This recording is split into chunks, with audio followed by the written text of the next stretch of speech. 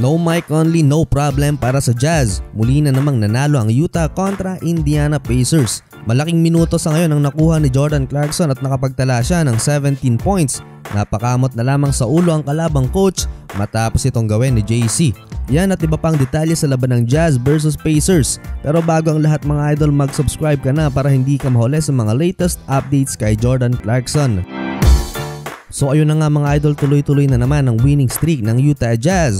Ito'y nang mapatumba nila ang Indiana Pacers na wala ang kanilang point guard na si Mike Conley. Sa unang quarter dikitang laban ang nangyari. Maagang nakalamang ang Pacers sa Jazz ngunit nakabawi naman ang Utah matapos maipasok sa laro ang ating kababayang si Jordan Clarkson. 11 points para kay Donovan Mitchell at 6 points naman kay JC. Dalawang magkasunod na tres ang bumasag sa lamang ng Indiana Pacers. Sa unang tres sa harapan mismo ni 6'11 Dumantas Sabonis. Napakamot na lamang dito sa ulo ang coach ng Pacers. Sa ikalawang sunod na tres ni JC ang sentrong si Miles Turner naman ang kanyang tinirahan ng harapan na naging dahilan para mapatawag ng timeout ang Pacers. 25 to 20 angat sa lima ang Jazz.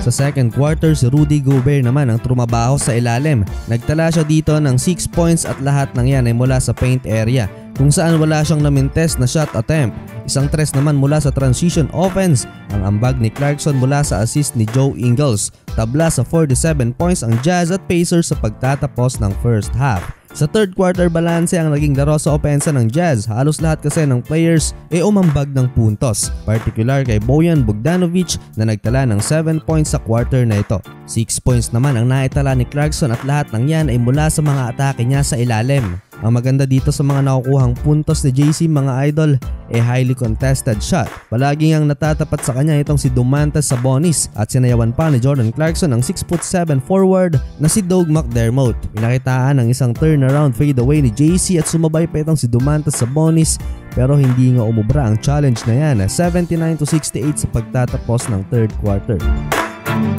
So sa fourth quarter si Boyan Bogdanovic na naman ang bumuhat sa Jazz para selyuhan ng panalo nakapagtala siya dito ng 8 points. 6 points naman kay Donovan Mitchell. 2 points lang naitala sa quarter na ito ni JC mula sa turnaround jump shot na ito para mabuo ang kanyang 17 points. Nagdabog naman itong si Domantas Sabonis matapos ma-fouled out sa last 29 seconds ng fourth quarter. Nagtapos ang larong ito panalo na naman ng Jazz 103 to 95 Fourth straight win na para sa Utah at sila pa rin ang nauunang kupunan sa NBA. Sunod sa kanila ang Los Angeles Lakers na tuloy-tuloy din ang winning streak.